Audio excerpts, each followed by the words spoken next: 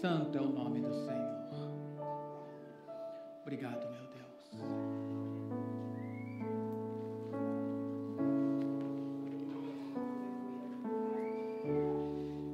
Que Deus te abençoe você que nesta tarde compareceu para prestar o teu culto a Deus. Deus te abençoe com a paz do Senhor. Amém.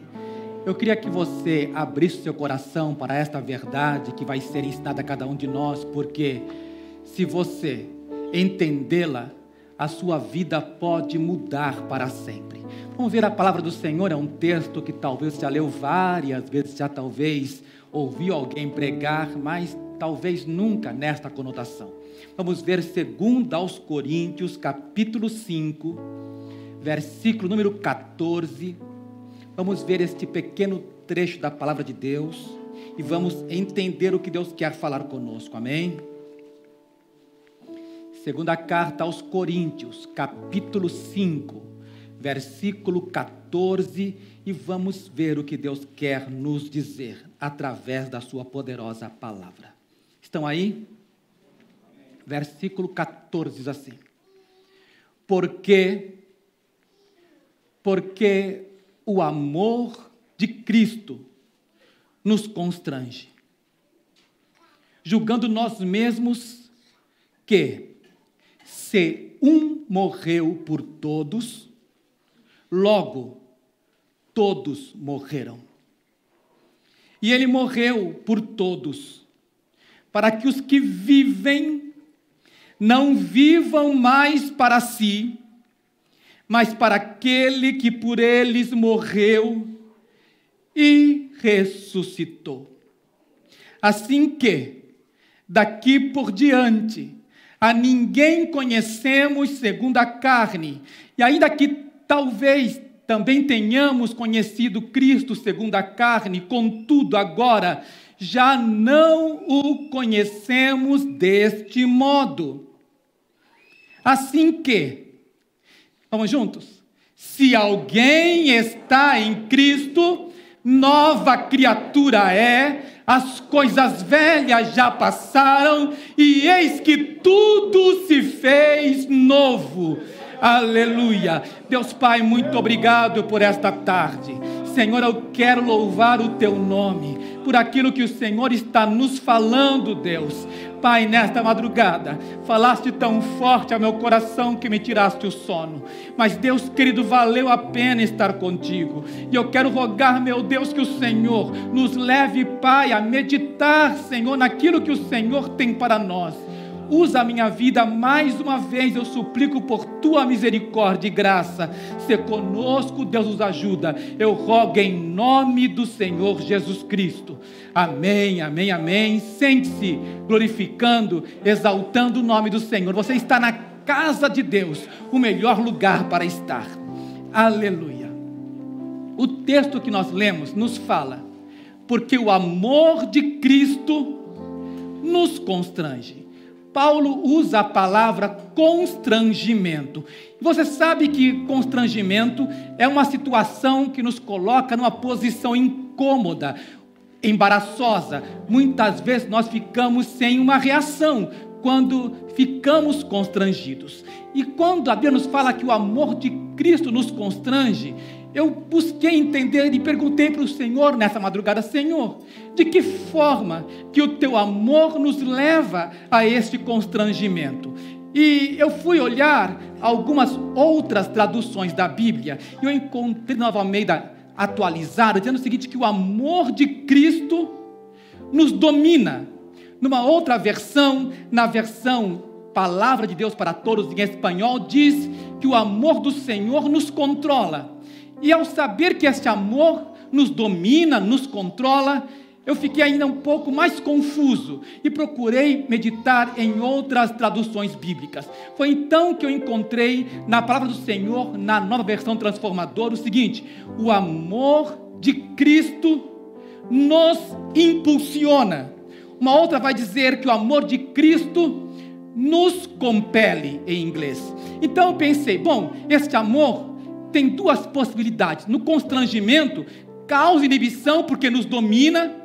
aquela reação acaba dominando, nós ficamos inertes, paralisados, porque aquilo tomou controle de nós e nós não sabemos como responder. Fomos então constrangidos, fomos controlados pela situação.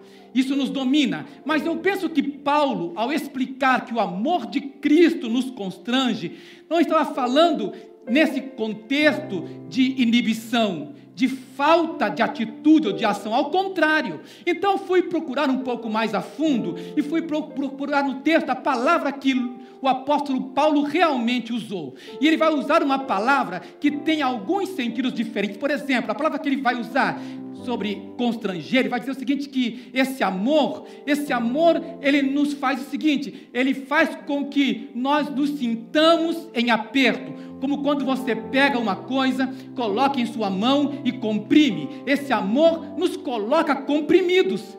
E isso é uma interessante ilustração, porque a palavra que ele vai usar é aquela palavra que os gregos usavam para falar de um barco que está indo por um canal. Ele não pode sair daquele, daquele limite, porque ele está é, limitado pela, pelo canal. Ele tem que ser levado por aquela correnteza para uma única direção. Uma outra questão também, essa palavra também era usada para é, falar de rebanhos, quando o animal está encurralado, está dentro de um curral, ele está limitado por aquele espaço, ele não pode se mover além daquele lugar. E eu fiquei pensando, irmãos, que foi exatamente isso que aconteceu comigo e com você. Nós fomos encurralados, nós ficamos constrangidos por esse amor, porque quando esse amor nos tocou, nós percebemos, Deus, o que eu faço agora ao me deparar com tão grande amor? Vamos ver isso, irmãos, porque é interessante. Quando o apóstolo Paulo fala sobre isso, ele está falando nesse contexto, porque qualquer um que realmente tenha sido tocado, que tenha experimentado o amor de Deus, nunca mais será o mesmo. E eu posso declarar isso para você com muita certeza, porque, irmãos, quando o Senhor tocou na minha vida, Ele me transformou por completo. Eu percebi que esse amor me trouxe um tal constrangimento que eu percebi. Eu não posso ficar parado. Eu tenho que fazer alguma coisa para corresponder a esse amor. Isso é uma coisa tão importante, irmãos, porque o apóstolo está descrevendo para nós exatamente o que aconteceu com ele ali em Damasco, na estrada, quando o Senhor o, o converteu. Paulo então tomou uma sábia decisão: eu tenho que fazer alguma coisa, eu tenho que trabalhar para o Senhor. E Paulo está explicando para os coríntios que aquilo que o estava impulsionando não era uma outra coisa senão o amor de Cristo. É importante, você vai ver comigo em Atos, capítulo de número 18, versículo 5. Esta palavra vai aparecer de novo no original. No capítulo 18, versículo 5 de Atos, Lucas vai dizer o seguinte: que Paulo ficou sozinho em Atenas e vai para Corinto. E quando ele chega em Corinto, ele está carregado por esse amor. Ele está dominado pelo amor de Cristo. Ele tem que falar para as pessoas aquilo que o Senhor fez por ele. E Paulo, então, encontra algumas pessoas, e Paulo, claro, como bom e hábil evangelista, ele tem que encontrar um assunto comum.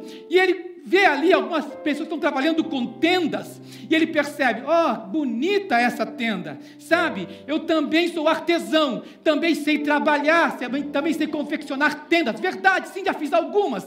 E Paulo então diz que ele é um artesão habilidoso com tendas, e ele começa a falar com Áquila, e eles se reúnem ali, ele diz: vem trabalhar comigo então. E Paulo trabalha ali com Áquila, com Priscila, e vai falando de Jesus, eles são convencidos pelo poder do Evangelho e convertidos ao amor de Cristo. E nesse momento, Paulo começa a pregar o Evangelho. E ali naquele lugar, muitas pessoas se convertem ao Senhor. E é quando de repente vem a sua equipe missionária ajudar Paulo. No versículo 5, se você está aí, você pode ver comigo o seguinte: quando Silas e Timóteo, a equipe de Paulo, desceram da Macedônia, foi Paulo o quê?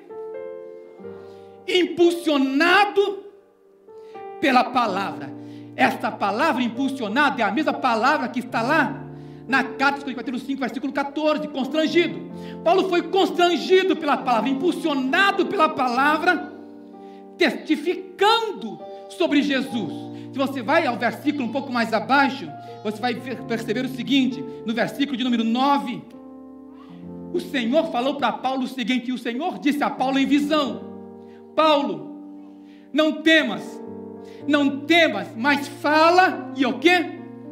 Não te cales, porque eu sou contigo, e ninguém lançará a mão de ti para te fazer mal, pois tenho muito povo nesta cidade. Paulo fica empolgado. O Senhor falou com ele: Paulo, não cala não. Mesmo que venham lutas, que venham provas, você não vai calar. Você vai falar do meu amor, porque os coríntios precisam ouvir a minha palavra. E Paulo fala.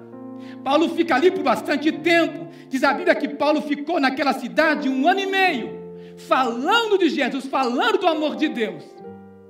E o tempo passou. E o tempo passa. E a gente vai esquecendo do amor de Cristo por nós. Vamos esquecendo também do nosso amor para com Ele. E Paulo tinha que explicar para os coríntios que agora não eram mais aquele pequeno grupo. Paulo, com Priscila, com Áquila, com Crispo. Não, havia crescido a igreja. Eles estavam uma igreja agora numerosa. E eles tinham esquecido de algo principal, preponderante para eles. Aquilo que nós chamamos de o amor de Cristo por seu povo. Porque eles haviam esquecido de algo. Estavam achando que as pessoas que apareciam ali eram importantes. E Paulo disse para eles: Olha, quando nós fomos para falar com vocês, nós somos não com palavras bonitas, a gente foi na demonstração do Espírito de poder, nós falamos do amor de Cristo. E agora que nós falamos de Cristo, quero que você entenda o seguinte: que o amor de Cristo é que nos impulsiona, é esse amor que nos constrange. Esse constrangimento nos leva a entender o seguinte: que se um morreu por todos, logo todos morreram. O que Paulo está dizendo, aleluia, é que uma vez que Cristo morreu por nós, uma vez que Ele se entregou por nós, morrendo a nossa morte, nós morremos com Ele. A nossa vida não é mais nossa. Nós morremos, fomos sepultados com Cristo. Isso é algo que eu quero que você jamais se esqueça. Eu não batizo vivos. Por isso eu prefiro esperar até um pouco, para que você tenha certeza que você, ao se batizar, você morreu e foi sepultado com Cristo. Ao ser sepultado com Ele, a sua velha vida ficou lá enterrada, ficou sob as águas. Você agora vai se levantar como uma nova criatura em Cristo Jesus. Aleluia. Hoje, entre o intervalo de um culto e outro, eu recebi uma chamada. Alguém me chamou em um número desconhecido e disse: Pastor, sou eu. disse: Sim.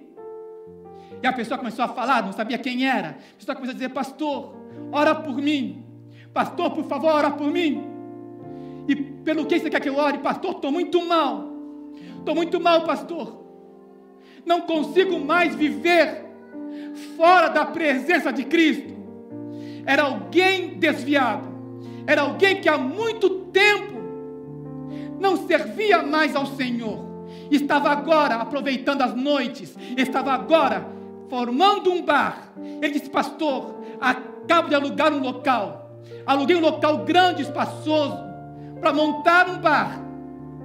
E depois que eu montei tudo, meu coração se encheu de um vazio tão grande. E Deus falou comigo: Filho, eu não te chamei para isso. Eu não me esqueci de você. Ele disse, pastor, Ora por mim, não aguento mais. Eu estou disposto a qualquer coisa, não vou mais abrir o bar. Eu prefiro abrir uma igreja nesse lugar. Mas ora por mim, pastor, diz para ele, querido, com muito prazer vou orar por você. Vou orar por você, quero que você faça o seguinte hoje. Hoje mesmo, vai à tua antiga igreja e vai lá e diz: Hoje eu estou confirmando no altar a minha reconciliação com Deus. Aleluia, eu espero que Ele tenha feito isso ou vá fazer isso ainda hoje. Irmãos, a palavra nos fala, e está bem claro, julgando nós assim, que se um morreu por todos, logo todos morreram, e Ele morreu por nós, por todos, para que os que vivem não vivam mais para si, mas para aquele que por eles morreu e ressuscitou. Aleluia. Eu entendo o significado desta palavra. Oh, eu entendo perfeitamente. Quando nós aceitamos a Cristo, ou melhor, quando Ele nos recebeu, a nossa vida foi transformada de uma tal forma, o coração vazio se encheu do amor de Cristo. Deus derramou amor em nossos corações pelo Espírito Santo que nos foi dado. E acontece o seguinte: quando esse amor nos envolve, não nos deixa paralisados, não, nos impulsiona, nos leva a fazer loucuras para Deus. Aleluia. Isso é algo tão importante, irmãos. Aleluia. Ninguém que aceitou a Cristo vive mais para si mesmo. Preste bem atenção. Você não vive mais para você mesmo. Preste bem atenção, a vida que você tem agora não te pertence mais. A tua vida agora é de Cristo Jesus. Você nasceu para a glória de Deus. Aleluia! Oh, que verdade maravilhosa! Mas alguns certamente não querem morrer. Alguns certamente não entenderam que uma vez que ele morreu por todos, logo todos morreram. Alguns não entendem isso há algumas semanas atrás, uma querida diaconisa pediu para que eu orasse por ela e disse, pastor, sinto dores, dores fortíssimas na minha cabeça. Fui ao médico, o médico disse que é estresse. Fui a outro médico, e o outro médico me disse: Você veio na hora exata, porque você tem um aneurisma e tem que operar imediatamente porque é numa região central da sua cabeça. Você não tem muito tempo de vida. E a irmã disse: Pastor, ore por mim, porque essa semana estou indo fazer a minha operação. Eu disse: Amém. Eu me lembro que coloquei minha mão gentilmente sobre a cabeça e disse: Senhor, a minha irmã vai fazer uma operação delicada, vão tocar na sua cabeça, mas eu peço ao Senhor que lhe preserve a vida e que lhe conceda, Deus, muitos anos para estar com a igreja e com a sua família e com seus netos. Ela foi ao hospital, passou pela cirurgia e hoje ela veio me contar, pastor. Eu olhei para ela, havia um corte em toda a fronte dela, cortaram toda a cabeça dela e trataram daquele aneurisma. Ela disse, pastor, eu estava no pós-cirúrgico, estava deitada, quando de repente algo começou a me sufocar. Eu comecei a perder a respiração, meu coração começou a palpitar, e de repente eu sentia algo que me levantava, e ao me levantar, aquela força, eu me perguntei: quem é que me está suspendendo? E naquele momento eu olhei e vi meu corpo inerte, olhei e vi a máquina que estava apitando. E eu disse: Senhor, estou morrendo. Naquele momento eu disse: Senhor, me socorre.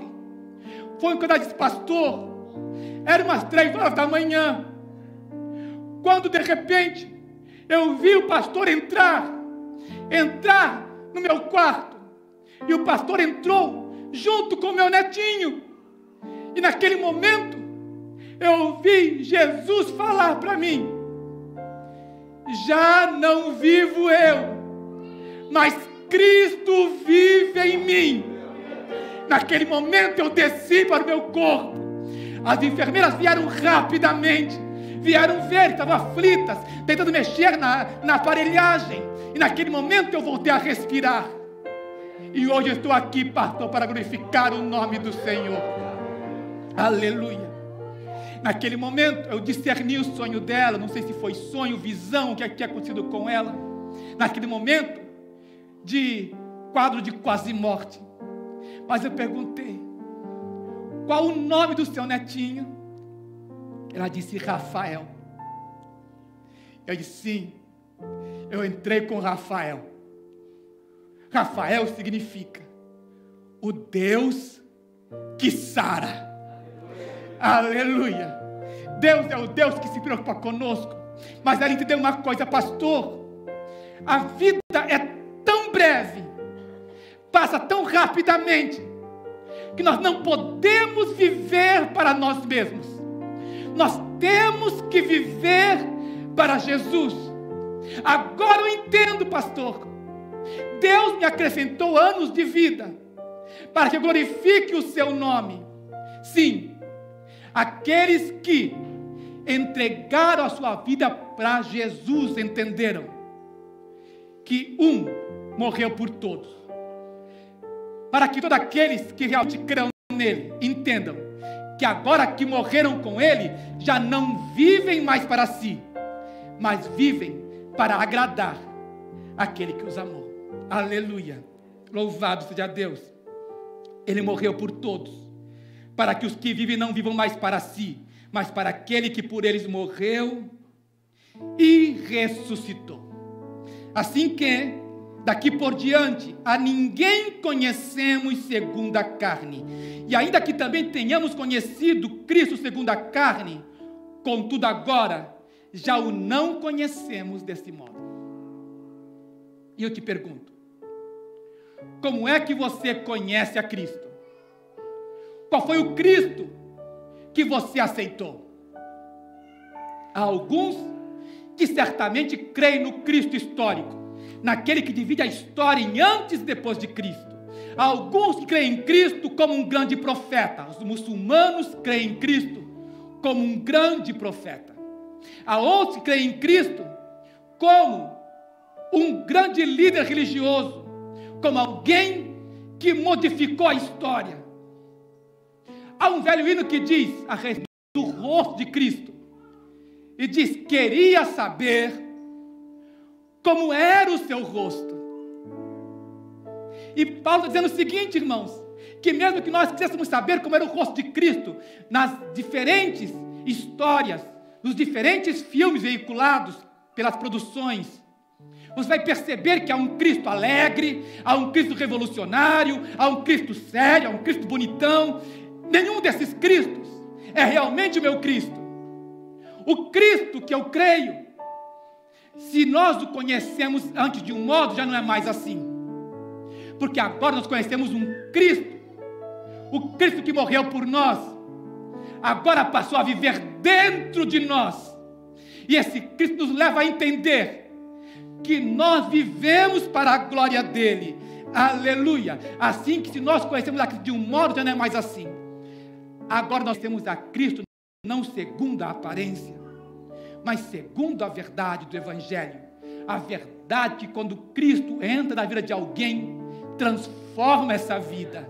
Aleluia. Essa é a verdade. É o poder do Evangelho de Cristo, o poder que transforma.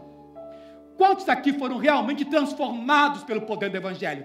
Quantos realmente aqui foram tocados pelo amor de Cristo? Se você foi tocado por esse amor, glorifique a Deus por um momento. Exalte o Senhor, porque o amor de Cristo foi derramado em seu coração. Aleluia. Mas há algo importante.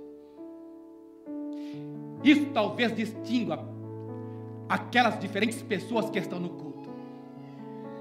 Quando Cristo derramou o seu amor em nós, o amor de Cristo realmente nos transformou. O amor de Cristo nos constrange. E muitas vezes esse constrangimento é constrangimento mesmo. Quer ver um exemplo disso? Estava conversando com um casal e de repente ele disse assim, ela disse assim, pastor, me pediram para para contratar uma mulher. E eu pensei, não, não vou contratar ela não. É uma mulher recém saída da noite. É uma mulher que se vende Como é que eu vou contratar essa mulher para trabalhar ao lado do meu marido e comigo? Não vou fazer isso, não. Mas quando ela foi orar, Deus começou a falar com ela. Demorou duas semanas. Ela estava, ela estava resistindo à voz do Senhor. Deus disse: contrata, pode contratar. E ela o fez em obediência ao Senhor, porque o amor de Cristo a constrangeu a contratar aquela mulher. E a verdade é que aquela mulher, toda tatuada, cheia de defeitos de fabricação, começou a trazer muitos problemas no estabelecimento daquela irmã. Disse: Jesus tem misericórdia. Quando ela recebe o primeiro salário, diz: Agora eu vou aproveitar e vou gastar tudo, vou beber tudo na noite. A irmã falou assim para ela: Olha, faz isso mesmo, aproveita. Aproveita, porque este é o último ano que você vai fazer isso. Aproveita bastante. E a mulher foi. E ela foi e voltou mais cedo. E quando voltou, disse: O que é que você fez comigo? Que trabalho foi esse que você fez? Porque eu fui lá e não senti vontade de fazer nada. O que está fazendo, hein? Aí que você pensa que eu sou macumbeira, é? Eu sou é crente em Jesus. Estou orando por tua vida. Aleluia. E o tempo passou. E de repente aquela mulher que fumava já não fumava mais. Aquela que bebia não bebia mais. E hoje essa mulher é uma serva de Deus. Porque antes de virar o ano, ela entregou a sua vida a Jesus, se converteu. É alguém lavada e remida no sangue de Jesus. Passou pelo encontro, foi transformada pelo poder de Deus. Aleluia. Eu fico pensando, irmãos, quando nós olhamos para alguém, se conhecemos aquele que é o Cristo de um modo, não conhecemos assim. Se nós não conhecemos mais ninguém segundo a aparência, não olhamos para a pessoa como ela é hoje, olhamos para a pessoa como Cristo verá esta pessoa amanhã. Ela não será mais a mesma. Aleluia. Se nós realmente cremos no poder do Evangelho de Cristo que transforma, esse Evangelho tem o poder de mudar vidas. Esse Evangelho mudou a minha vida e também mudou a tua. Aleluia. De uma tal forma que Paulo diz o seguinte: por isso, e essa é a razão. Quem está em Cristo? Quem está em Cristo? Quem está em Cristo? Quem está em Cristo? Aleluia! É necessário estar em Cristo. É necessário que você esteja nele e ele esteja em você. Aleluia! Aí o barco não vai tomar outro rumo, aí o barco não vai sair do canal, porque fomos constrangidos, impelidos por esse amor a irmos em direção ao nosso porto seguro. Assim estaremos firmados em Cristo Jesus, porque quem está em Cristo, sim, nova criatura é. As coisas velhas, aleluia, já passaram, tudo se fez novo, aleluia. Louvado seja Deus. Eu te pergunto, quando foi que você entregou a sua vida a Cristo? Quantos anos você tinha quando recebeu a Cristo? Na verdade, a idade não importa muito. Mas é uma coisa que importa. Quem realmente aceitou Jesus sabe, há alguns até que sabem o local, o dia, a hora, o momento exato, a data em que aceitou Jesus. Porque a sua vida foi transformada nesse dia que teve um encontro com o Senhor. Eu sempre que falo nisso, me lembro do velho Pedro. Pedro era um homem, um homem idoso, meio cego, quase sem visão.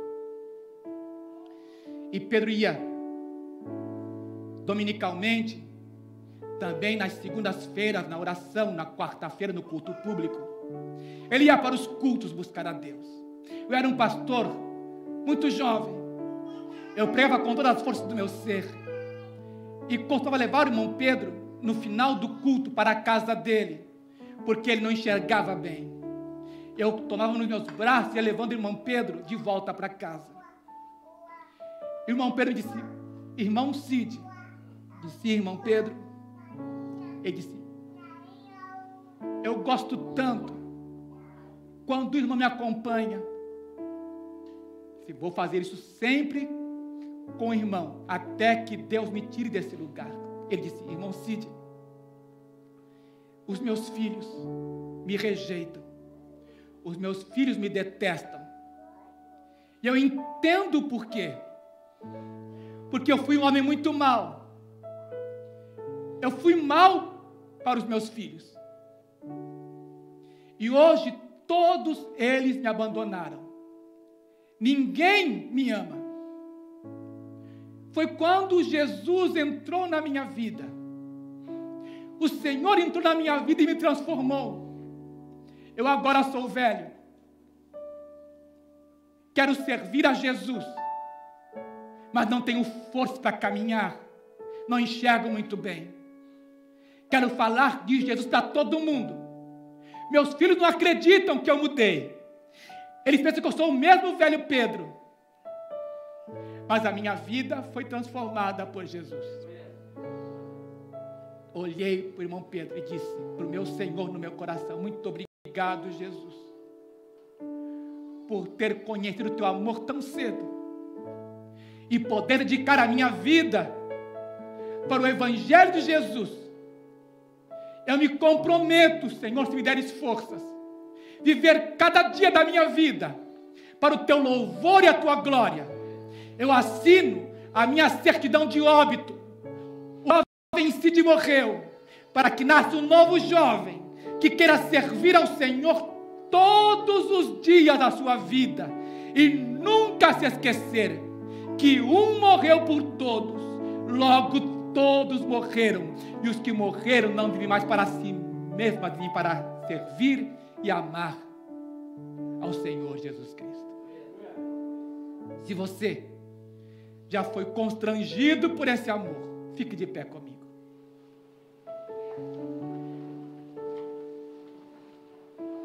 Louvado seja o nome de Jesus.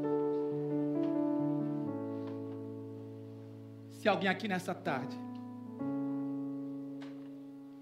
que, tocado pelo amor de Cristo,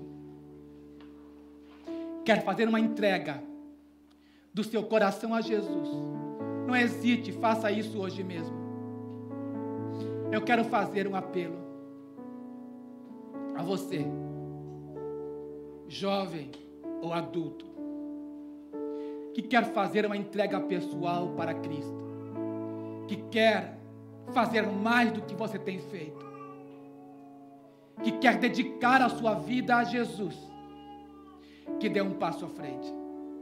Se você quer realmente entender que essa vida nova que você tem agora é para Cristo, dê um passo e venha servir ao Senhor. Glória a Deus. Eis aí um jovem para Jesus. Glória a Deus. Alguém mais essa tarde que quer entregar a sua vida a Cristo? Aproveite agora esse momento. É a melhor decisão que você faz na sua vida. Aleluia. Louvado seja Deus. Aleluia. Glórias a Deus. Glória a Deus. Aproxime-se, irmão Roberto. Aleluia. Uma certa vez um pastor estava pregando e aconteceu o mesmo que aconteceu aqui agora. Chegou um jovem e chegou um senhor maior de maioridade. E quando eles chegaram, o pastor disse: Hoje chegou, hoje se acendeu uma vela inteira e uma meia vela. E todos pensaram: a meia vela deve ser o jovem porque é pequeno. Não, a vela é a nossa vida a nossa vida está acesa. Temos uma vela inteira para queimar. Temos uma vela que está aí para ser queimada para Jesus. Que a sua vida, meu irmão Roberto, seja iluminada para a glória de Jesus. Que os anos que lhe restam para glorificar a Deus, para exaltar Jesus. Que jovem, a sua vida inteira que tem pela frente, seja para glorificar o nome do Senhor. Alguns de nós já experimentaram, como o irmão Roberto já experimentou. Um momento da sua vida bastante crítica. Um momento no qual ele pensou: agora eu não vou resistir. Agora não vou viver mais. Mas o Senhor, na sua misericórdia, lhe concedeu muitos outros anos de vida, e eu creio nisso. Que os seus anos serão mais abençoados do que nunca foram antes, irmão Roberto. Que Deus abençoe, que Deus te abençoe, jovem. É de verdade você entregando a sua vida para Jesus? Curve a sua cabeça então, feche seus olhos, oremos ao Senhor. Senhor, Senhor Deus, duas vidas se achegam ao teu altar. E eles vêm, Senhor meu Deus, para entregar suas vidas a Cristo. Senhor, em nome de Jesus, rogamos, Pai, que o Teu Espírito Santo toque neles, Senhor. Entra na vida deles. Entre e transforma, meu Pai. Senhor, eles não têm vergonha, Senhor, de chegarem ao Teu altar, entregar as suas vidas a Cristo. Senhor, entra, transforma com o Teu amor. Constrange-os, Deus. Compele-os, Senhor Deus, a serem úteis no Teu reino. Pai, em nome de Jesus, nós rogamos a Tua bênção sobre eles, Deus. Obrigado, Pai, por aquilo que o Senhor fez no dia de hoje, salvando as suas vidas. Obrigado, Deus, o Teu amor nos constrange. Obrigado, Deus. Repitam comigo, Senhor Jesus, eu entrego a minha vida a Ti. Tu estás me recebendo como filho de Deus. E eu te recebo como meu único Salvador, meu único Senhor. Transforma a minha vida. Eu te peço, em nome de Jesus. Amém, amém. Glória a Deus. Glória a Deus. Um abraço. Dá um abraço nele. Aleluia. Glória a Deus. Glória a Deus. Glória a Deus. Glória a Deus. Não há como não se emocionar quando uma alma vem a Cristo. Lembre-se, você nasceu para falar de Jesus. Que esse amor nos constranja a falar do amor de Deus. Vamos assentar. Glória a Jesus. Glória a Deus.